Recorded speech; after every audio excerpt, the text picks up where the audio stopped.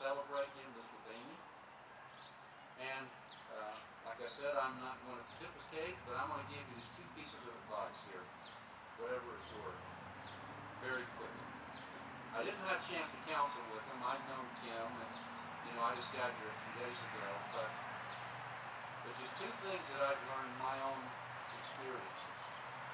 The Apostle Paul gave a command one time in the book of Ephesians, chapter 4, I'm taking over for instead, about 12, 13, 14. He said, Speak the truth in love. And that to me is one of the keys of life in marriage I've found. Most marital conflict and arguments are truth telling times. You see, in marriage, you get to know one person more than any other human being on this planet, and you see them warts and all, the good and the bad. You know, the curlers in the morning, the toothpaste left over, you know, the passing gas in the bed, you all that stuff, you know. You get, you get, you get, you get the whole nine yards, you know, you get the whole nine yards in, in marriage, you know, the stuff that you don't do romantically, you know, that's what marriage is really, you know, all about. Is that a smile or something about that just what it is? But you get to know somebody, and so you know the truth about that person. And how you handle that truth, I found, is how that, that marriage is going to make it or not.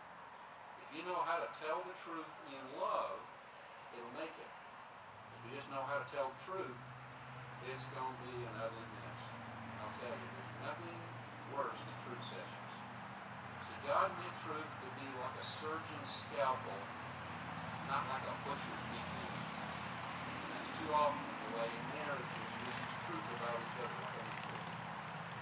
So speak the truth in love. And the other one's another simple one. It's just the text you just read said, love is forgiving. Buddy, that's what we need a lot, a lot in this world now. It's something that you just need to learn to practice. Forgiveness is not hard. It's just doing it. So it what's hard. It's not knowing what it is, or it's just doing it. And that's a practice. And I think if you learn to speak the truth in love, and learn to forgive, and I think 90% of the marriages that practice that will make it. It'll go the distance, even though less than half do that nowadays. I think that got a real good chance of going all the way to that. Well, now we come to the important part. I now speak to Timothy and Amy of love, in which the trust and freedom of the other person becomes as significant as the trust and freedom of oneself. I speak to them of generosity, which gathers the beauty of the earth for riches and the kindness which turn away the wrath of foolish men and women. I speak of all our hopes for their continued growth through, patience, one for the other. May Timothy and Amy keep the vows made on this day in freedom, teaching each other who they are, what they shall be, enabling them to know that in the fullness of being, they are more than themselves and more than each other, that they are all of us, and that together we share joyously the fruits of life on this earth, our home.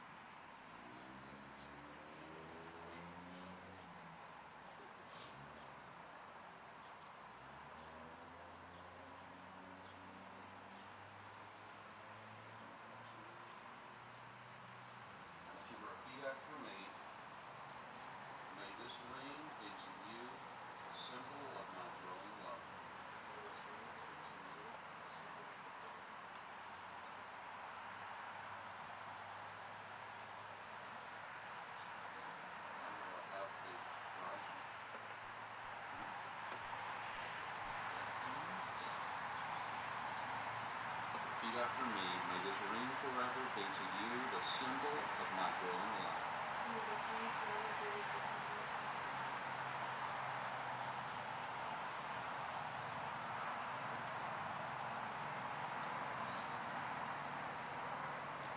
May these two find happiness in their union.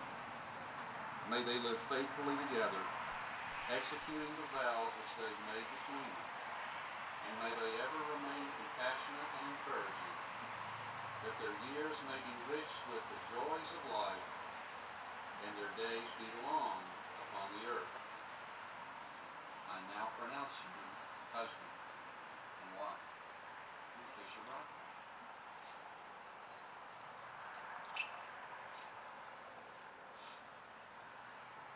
It's my privilege and joy to introduce to you Mr. and Mrs. Timothy